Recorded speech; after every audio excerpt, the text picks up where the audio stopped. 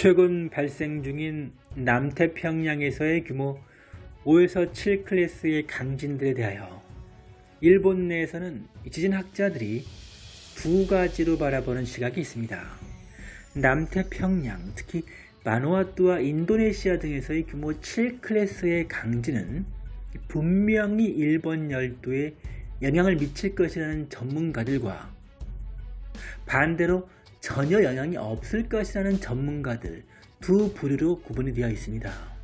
최근 작년 말부터 전문가는 아니라도 느껴지는 일본 열도의 위기 신호와 일본 열도를 떠나서 브레고리 환태평양 조선대 지역의 대지진 발생 가능성에 대하여 여러 가지 주장들이 앞다투어 나오는 상황입니다.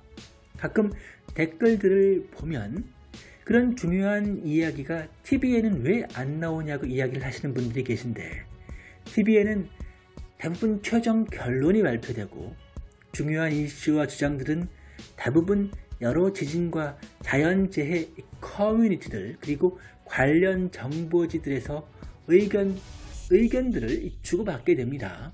결국 우리가 최종적으로 보게 되는 오늘 일본에서 혹은 한국에서 어느 정도 규모의 지진이 발생했느냐의 것은 큰 지진이 발생된 이후에 그 결과가 발표되게 되고 위험 신호를 미리 이야기했었던 지진과 자연재해 전문가분들이 지진과 화산 폭발 등이 발생한 이후에 방송이나 매체에 나와서 그간의 설명을 해주시는 것입니다. 이런 불안한 일촉즉발의 무언가가 다가오는 일본 열도에게 어제 1월 9일 일본 오사카시 중심부를 흐르는 요도가와강 하구 부근에 9일 갑자기 나타난 거대한 고래는 일본에 큰 공포를 주고 있습니다. 왜냐하면 7일 뒤인 1월 17일은 일본 한신 아와지 대지진이 발생한 날이기 때문입니다. 한신 아와지 대지진으로 고베 오사카 간 고속도로의 고가도로가 무너지고 고베 항의 항만 시설 대부분이 파괴되었던 것을 기억하는 일본 분들에게는 어제 났다는 오사카의 고래 출현은 무언가 큰 공포를 충분히 불러일으키고 있으며 일본에서는 현재 대부분의 매체에서 이 오사카 고래 이 출현 소식을 전하고 있습니다. 고래는 어제 9일 출현하여 오늘 10일 화요일에도 모습을 나타냈습니다. 희한한 것은 움직이지 않고 거의 같은 한 곳의 위치에만 머물러 있다는 것입니다. 몸 길이는 약 8m이고 머리 모양 등으로 보아서는 평소에 심해에 사는 향유고래로 보입니다.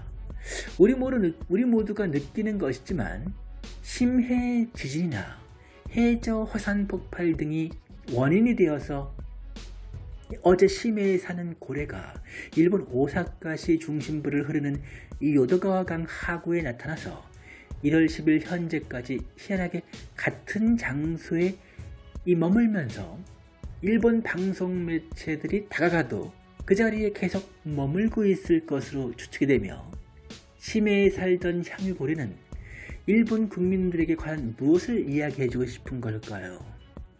하필 1월 17일 한신 아와지 대지진을 앞두고서 나타난 고래는 일본 국민들이 최소한 일주일 정도는 새벽까지 잠을 못 자게 만들 스토리는 충분히 되고 있습니다.